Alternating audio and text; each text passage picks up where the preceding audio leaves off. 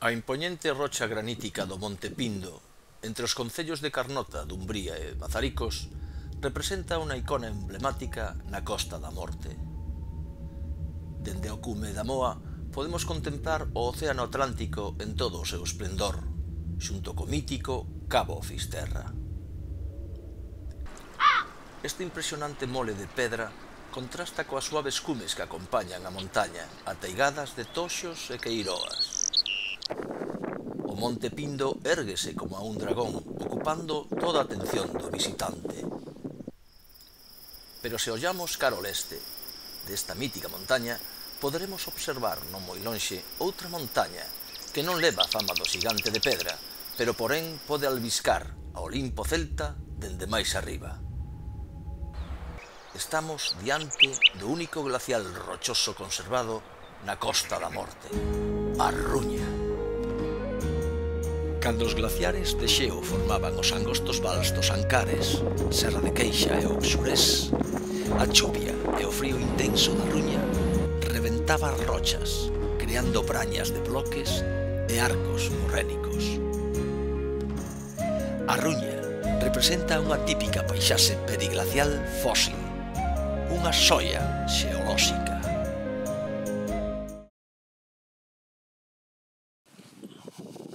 Os elevados índices de chuvias e as abondosas brétemas da Ruña artellan numerosas fontes e regatos que descorren polas ladeiras, alimentando o río Sallas preto da súa desembocadura no Océano Atlántico.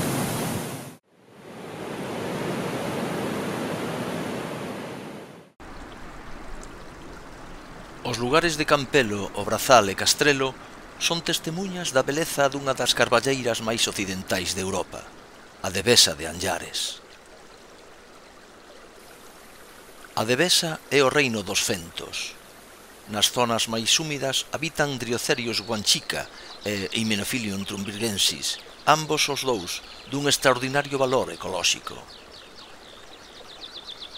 Estas plantas son propias de caborcos e vales pechados ou abeirados, cunha alta humidade atmosférica que artellan unha gran biodiversidade, A Devesa do Anllares e o Furiño representan os derradeiros bosques de Ribeira da Costa da Morte e constitúen un reservorio de natureza de incalculable valor.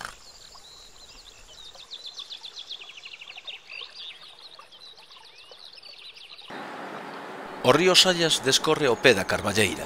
En apenas 17 km do seu leito conta con catro centrais hidroeléctricas. Fervenza, Pontolveira, Castrelo e Santuxía. Esta enorme densidade de centrais hidroeléctricas converten a Osallas no río máis explotado de toda Galiza, pagando deste xeito un alto custo medioambiental. A mediados do século XX proxectouse unha canle de aproveitamento da agua para producir electricidade. Caváronse 11 túneles e un viaduto de 20 metros de altura, coñecido como a Ponte do Peón. As pésimas condicións de traballo provocaron multitude de accidentes laborais e de enfermidades profesionais, como a silicosi. Anos máis tarde, comenzou a construción do encoro de Santoxía e os veciños viron as súas terras alagadas e a auga prácticamente ás portas das súas casas.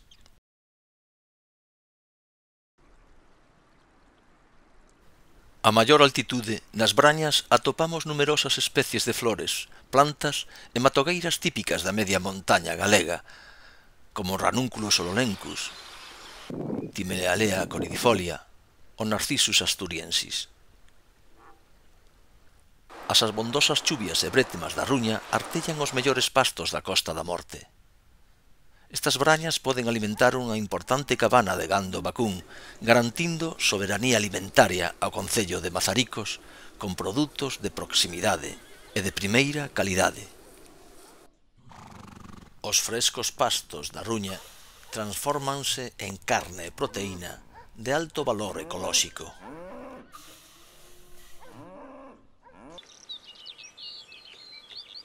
Nas brañas da Ruña pastan ceibos os garanos galegos.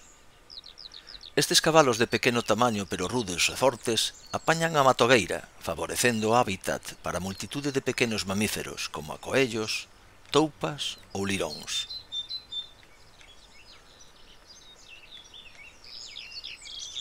Os coellos da Ruña adaptáronse a trepar polos penedos do glacial rochoso para alimentarse dos gromos tenros das chorimas e queiroas, As rochas serven de acubillo aos coellos dos penedos. As eguas paren os poldros na primavera. Con apenas semanas de vida, os poldros xa galopan ceibos polas brañas, brincando entre eles as carreiras, entre chimpos e retrincos.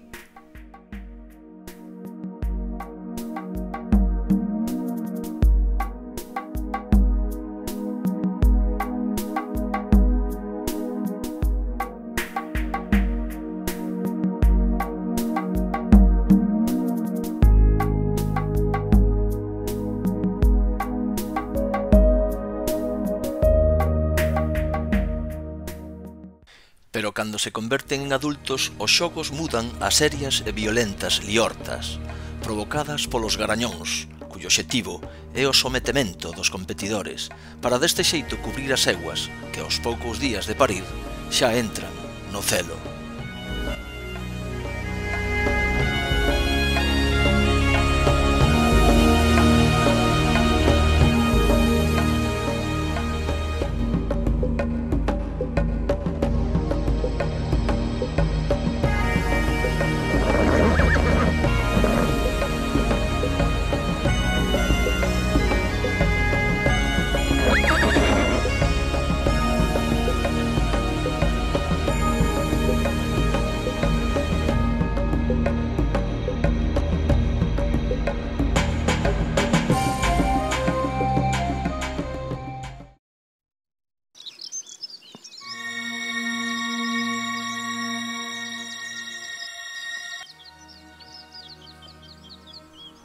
partos complicados sáldanse co nacemento de poldros enfermos que morren ao pouco de nacer, baixo a sufrida ollada das súas nais.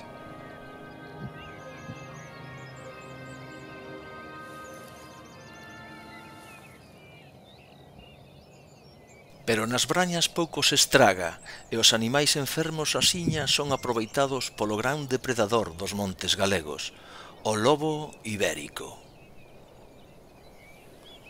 O lobo ibérico completa a cadena trófica da ruña e representa o lado máis salvaxe da ruña, resistindo na montaña durante séculos á presión humana.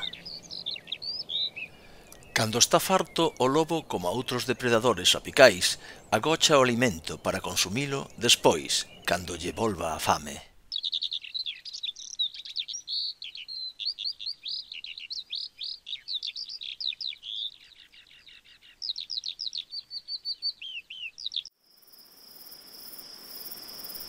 Na primavera, coincidindo cos nacementos dos poldros, o lobo axexa as mandas de garranos, que nesta época procuran xuntarse para defenderse mellor deste depredador.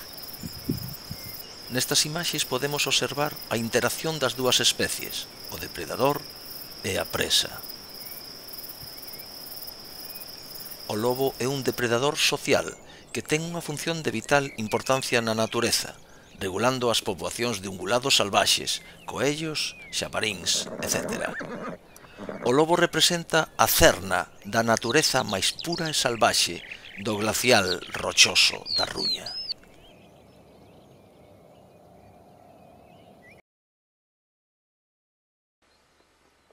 Lonxe de ser un lugar baldeiro, os montes da Ruña acollen importantes poboacións de labercas, currucas, azulentas, chascos e un sinfín de paxaros que se alimentan das brañas. As cigoñas fan escala na Ruña, na súa migración dende o sur. Na primavera podemos atopar grandes bandos de cigoñas alimentándose nos prados e nas brañas da contorna. As pillaras douradas tamén fan unha pausa na montaña, despois de voar dende o norte de Europa para pasar o inverno no sur do continente e no norte de África. A Pillara Rubia tamén é un visitante de especial relevancia que fai parada na Ruña, logo de voar dende o remoto ártico. Ambas as dúas especies son migratorias.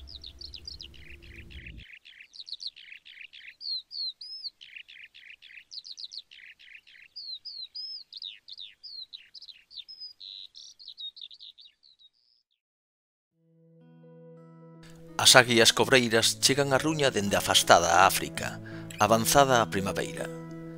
Caro fin do verán tamén podemos albiscar os lagarteiros, cos seus voos acrobáticos entre as carqueixas e queiroas, na procura de réptiles, pequenos anfibios e insectos.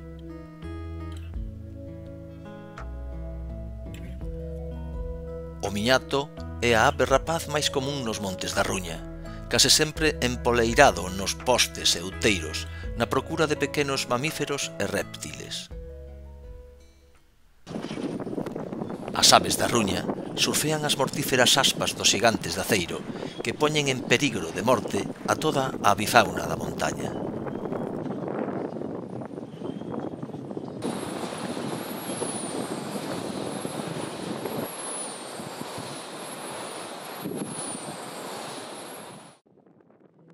A Ruña vertebra o Concello de Mazaricos, típicamente rural, onde a gandería é o motor principal da economía. Neste sector, Mazaricos sitúase como o primeiro da provincia e o cuarto de Galicia por volumen de produción con multitude de granxas adicadas á produción láctea e cárnica. Calcúlase que de xeito directo inducido esta actividade ocupa a máis da metade dos veciños, ademais de supoñer o 80% do volumen total do negocio municipal. A importancia económica do sector gandeiro hai que engadir, ademais, unha indiscutible labor social e medioambiental que, a máis de fixar poboación no rural, posibilita a conservación da contorna. Os pastos de primeira calidade que ofrece a montaña xunto con unha boa xestión dos recursos agrícolas da Ruña e os seus vales, farían sen dúbida de Mazaricos un concello con soberanía alimentaria e autosuficiencia económica para todos os seus veciños e veciñas. A Ruña e a Devesa do Anllares manteñen unha contorna de alto valor ecolóxico e paisaxístico. As fontes e mananciais dan lugar a pastos de primeira calidade. Dende o cume da Ruña, debúxase un espectacular paisaxe, coa mole impoñente do Monte Pindo, o Océano Atlántico e Fisterra. Estamos fronte a unha das paisaxes máis fermosas da Galiza.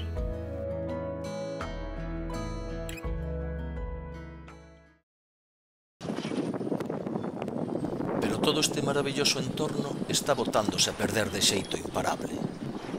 Os cumes da Ruña atópanse ateigados por extensas poligonais eólicas que destruen os ecosistemas e con eles os mellores pastos da comarca, perdéndose con todo isto todo un modo de vida agrario e gandeiro. Un proxecto de construción dunha estación de bombeo para xerar electricidade con fins especulativos e financiado con fondos europeos Next Generation planea tunelar a Ruña e asologar unha das brañas máis emblemáticas da montaña, onde se atopan os mellores pastos e as vistas máis fermosas, un proxecto promovido por un fondo de inversión estranxeiro. Pero esta clase de proxectos comenzan a ser cuestionados e xa son obxecto dunha importante contestación social por parte dos veciños e veciñas de Mazaricos, fartos de tanto espolio e preocupados pola perda do seu modo de vida tradicional e a soberanía do seu territorio. Os veciños e veciñas organízanse, creando plataformas en defensa dos seus dereitos e do seu tradicional modo de vida.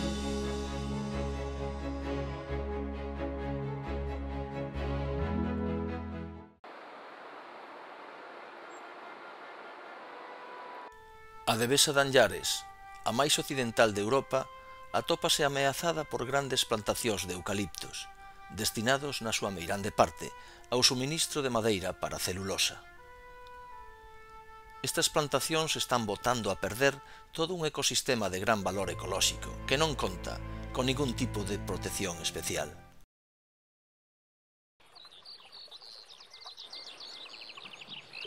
Se continuamos xestionando deste xeito a Ruña, os Allas e a Devesa do Anllares, estaremos destruindo a natureza, a cultura as vidas e a memoria dos veciños e veciñas que loitaron e morreron por esta mítica montaña.